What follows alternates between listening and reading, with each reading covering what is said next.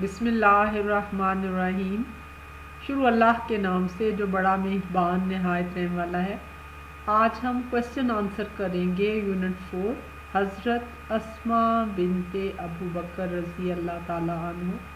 प्यारे बच्चों, हमें इंग्लिश के क्वेश्चंस के साथ साथ तीन क्वेश्चन प्रिपेयर करने चाहिए, जो हमारे से पहली मंजिल पे पूछे जाएँगे कि तुम्हारा रब कौन है तुम्हारे नबी का नाम क्या है और तुमने रास्ता किस पे चले दुनिया में? इसके लिए तीन सवालों की प्रेपरेशन जो है, वो हमें कुरान मजीद के मुताले से पता चलेगी और नबी करीम वसल्लम की हदीस से। क्योंकि नबी करीम वसल्लम ने कहा, मैं दो चीज़ें तुम्हें छोड़कर जा रहा हूँ। अगर तुम उन्हें मजबूती से थामे रखोगे तो कभी गुमराह नहीं होगे। एक कुरान मजीद, दूसरी मेरी सुन्नत। तो हमें चाहिए कि हम कुरान मजीद को तर्जमे के साथ पढ़ें रोज़ कम अज़ कम तीन आयात तर्जमे के साथ पढ़ना लाजम कर लें और नबी करीम वसल्लम की छोटी छोटी दुआओं को याद करके पढ़ना शुरू करें। हम अपने सबक की तरफ़ आते हैं। आज हम पढ़ेंगे स्ट्रेस एंड इंटोनेशन ये अल्फाज के ऊपर दबाव और गुफ्तगु में अतार चढ़ाव को इंटोनेशन कहते हैं। It helps to strengthen a specific meaning ये हमारी मदद करता है एक ख़ास मतलब अखज़ करने में एटीट्यूड और इमोशन जज्बात इन एन अट्रेंस जब हम अपने मुँह से अल्फाज की अदायगी करते हैं उसका मतलब क्या है?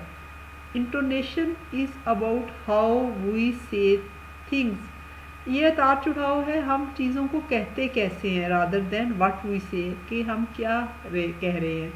The way the voice rise and falls when speaking, in other words, the music of the language. यानी ये साज की तरह उतार चढ़ाव को कहते हैं।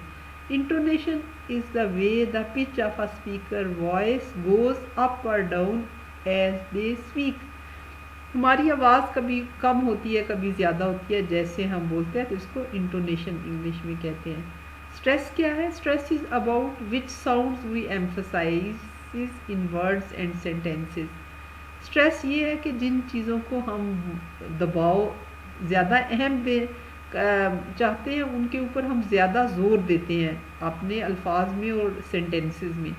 In English stressed syllables are louder than non stressed syllables also they are longer and have a higher pitch जो स्ट्रेस लेबल्स होते हैं वो उनको हम ऊँचा बोलते हैं और लॉन्गर होते हैं than non stressed the stress syllables are represented by bold writing और जब हम उनको लिखते हैं तो उनको बोल्ड उनको uh, मोटा करके हाईलाइट करके लिखते हैं और बोलने में उनको ऊँचा बोलते हैं और लॉन्गर ड्यूरेशन के लिए ज़्यादा के लिए जैसे कि हस्बैंड तो हज के ऊपर हम ज़्यादा स्ट्रेस देंगे। हजबेंड तो हम इसको बोल्ड लिखा हमने। इसी तरह अबाउट अ छोटा है अबाउट हम जो है उसके ऊपर स्ट्रेस देंगे। इसलिए हमने उसको बोल्ड लिखा है। इसी तरह ये है अराइव अराइव तो आप देखेंगे इसमें अराइव पहुँचना इसमें जो बोल्ड लिखे हुए हैं, कैपिटल हैं, उन पे हम स्ट्रेस देते हैं। इसी तरह रिमार्केबल, मार्केबल कोई चीज़ जो है वो बहुत प्रोमिनेंट हो तो हम कहते हैं, बहुत अच्छी हो तो हम कहते हैं रिमार्केबल तो मार जो है वो स्ट्रेस्ड है।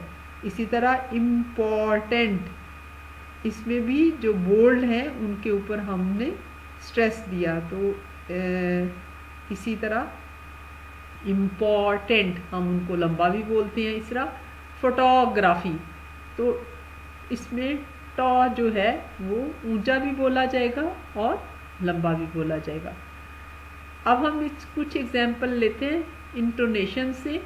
Is the way how we say things the pitch of a speaker voice goes up और डाउन एज दे स्पीक जब हम कोई लैंग्वेज बोलते हैं तो उसके बोलने में हमारी आवाज़ का अतार चढ़ाव, जैसे आप देखें कि इसमें do do do you like it अगर मैं डू को स्ट्रेस दूँगी तो do you do you like it और वही जुमला है, अगर डू यू लाइक इट तो आप देखें कि आप जिस चीज़ को स्ट्रेस देंगे, उसको आप मोटा लिखेंगे और ऊँचा पढ़ेंगे और ज़्यादा देर के लिए आप पढ़ेंगे। एक ही फ़िक्र है हम उसे मुख्तलिफ़ अल्फाज को स्ट्रेस दे के पढ़ेंगे।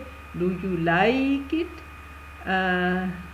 तो इसमें लाइक like जो है उसको मैंने स्ट्रेस दिया। इसी तरह आगे जो है वो आ, अगर मैंने डू यू लाइक इट तो इट जो है उस पर ज़्यादा स्ट्रेस है। इस तरह हम अपनी आवाज़ को उतार चढ़ाव के ज़रिए ज़्यादा अट्रैक्टिव बना सकते हैं। उम्मीद है आपको स्ट्रेस और इंटोनेशन की समझ आई होगी। इस चैनल को सब्सक्राइब करें।